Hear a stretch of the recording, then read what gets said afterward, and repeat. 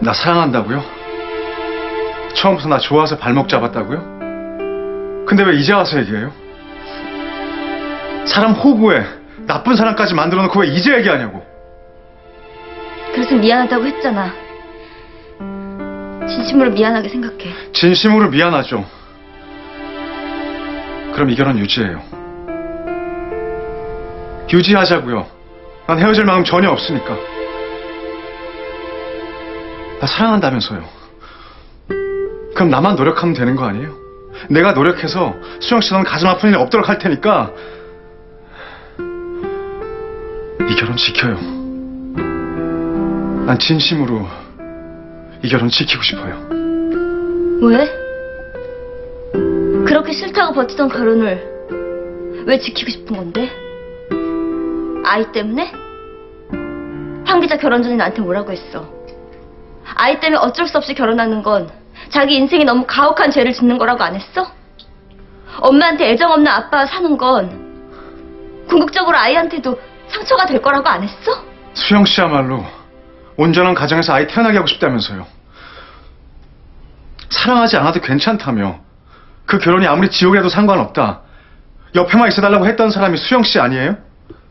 이젠 아니야.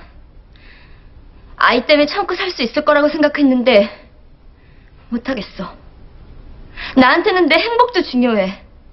나도 이제 날 사랑해주고 아껴주는 사람과 함께하고 싶어. 차수영 씨 좋아해요. 수영 씨와 함께라면 1년이 아니라 2년, 3년, 몇십 년을 함께 살아도 나쁘지 않을 것 같다고. 아니, 꽤 좋을 것 같다고요. 수영 씨 그만큼 매력 있고 좋은 사람이에요, 나한테. 그리고 무엇보다 수영 씨 뱃속에 내 아이가 있어요. 이젠 나도 우리 아이 온전한 가정에서 태어나게 하고 싶어요. 그래요. 아이 때문에 결혼하는 거 어리석은 짓이라 생각했어요. 하지만 지금은 아니에요.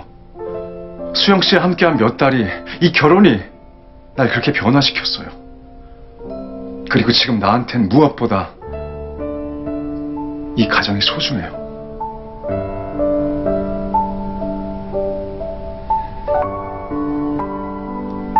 나 사랑해? 대답해봐. 나 사랑하냐고. 나 또다시 상처받고 싶지 않아. 노력할게요.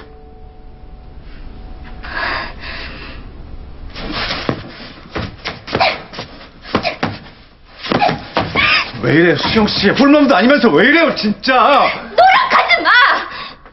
누가 노력해달랬어? 노력한다는 소리만 들어도 화가 치미니까 노력하지 말라고!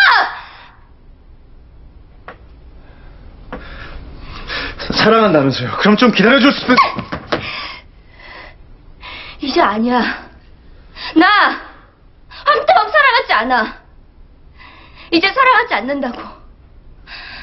사랑이 노력한다고 되는 거니? 가. 나 이제 더 이상 너 사랑하지 않아. 내일 다시 얘기해요. 수영 씨 지금 너무 화가 나서 이성적인 판단이 안 되는 것 같은데 내일 아침 되면 다시... 지극히 이성적이고 객관적이고 냉정하게 생각해서 내린 결정이야. 절대 후회 안 해. 헤어져. 끝내!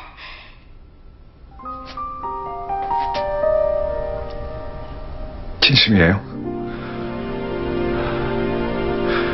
진심으로 헤어져요? 그래. 헤어져.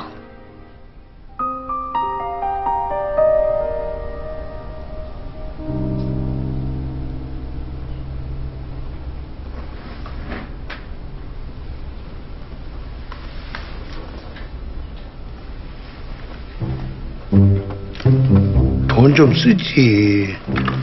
선물이 너무 옹색 크잖아. 끝까지 우기지 그랬어요 왜? 하여간 오늘은 무조건 해파리 정신으로 납작 엎드려 기는 거야. 절대로 웃고지 마라. 걱정하지 말아요. 누울 자리를 보고 다리를 뻗지. 내가 마음 때나 성질내요.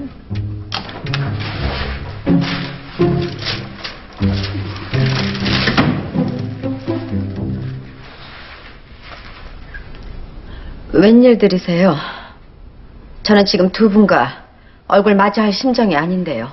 아유, 저기, 지난번처럼 어, 두 분과 즐겁게 담소를 나누고 싶어서요.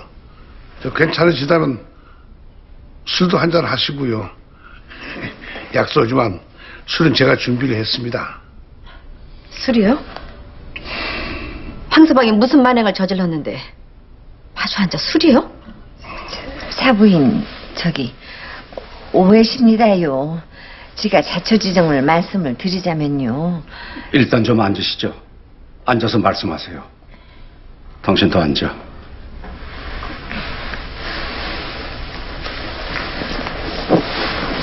아이 참, 저 이거는 저기 무농약 유기농 배즙입니다요. 지들이 직접 지은 배로다 낸 100% 천연 배즙이에요. 겨우내 이렇게 잘 두고 드시면 감기 몸살 같은 거 없이 잘 지낼 거구먼요. 필요 없습니다. 도로 가져가세요. 여보, 잘 먹겠습니다. 계속 말씀을 드리자면요. 그 우리 태범이가 혜령이 그 옛 여자를 만나고 다닌 게 아니에요. 그 옛 여자가 태범이 사무실로 느닷없이 일을 하러 왔다고 합니다요. 네, 그래서 이제 대범이가 고민 끝에 그 시사 투게더 그 MC 자리도 그 포기를 했답니다. 아유, 그게 어떤 천금 같은 기회인데 그거를 그냥 딱 때려쳤다지 뭐예요. 아유, 그게 다 태범이가 그냥 이 수영이를 위해서 단호하니 그냥 딱 때려쳤다고 합니다요. 야. 그러고 그 뭐 뭐 계약 결혼이가 뭔가 그건 뭐 지들끼리 그냥 하는 얘기고요. 우리 태범이는 애시당초 이 결혼을 깰 생각 추호도 없었습니다요. 야. 모쪼록 그 너그럽게 이해를 해주셨으면 좋겠습니다. 우리 태범이는 저 사돈께서 그렇게 생각하는 그런 일이 결코 하지 않았고 충실하게 그런 생활 잘하고 있습니다. 충실하게 잘이요? 황 기자가 결혼 첫날부터 이날까지 서재방서 기거하며 각방 쓰는 건 아세요? 우리 수영이 정기검진 한번 따라가 본 적 없고 임신한 와이프가 먹고 싶다는 음식 한번 사다 먹여본 적이 없이 이보다 더 무심할 순 없다 싶게 무심했던 건 아세요?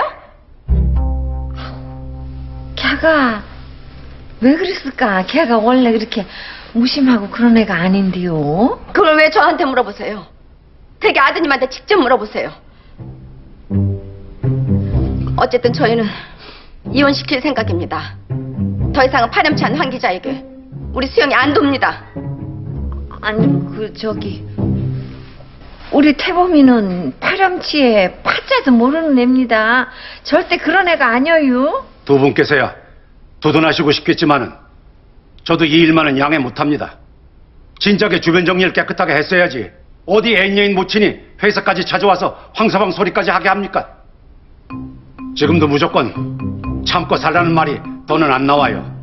아니 그 사돈께서 이혼이라는 말씀 하시는 거는 몇 달 전에 애가 태어납니다. 애가 태어난다고 불행한 결혼을 무조건 유지해야 한다는 건 아니죠. 아, 그래도 애는 그 온전한 가정에서 온전한 가정의 기준은 양 부모냐 한 부모냐가 아닙니다. 아이에게 가장 중요한 것은 엄마가 정서적으로 얼마나 안정되고 행복하냐예요. 엄마가 행복해야 아이도 행복합니다. 더구나 황 기자처럼 비열하고 이기적인 애 아빠는 차라리 없는 게 더 나아요. 임신한 내 딸에게 비열하게 계약 결혼 제안을 해요? 저기 너무 속상해서 그런 말씀을 하시겠지만요. 우리 태범이는 시사 투게더까지 그만뒀다니까요.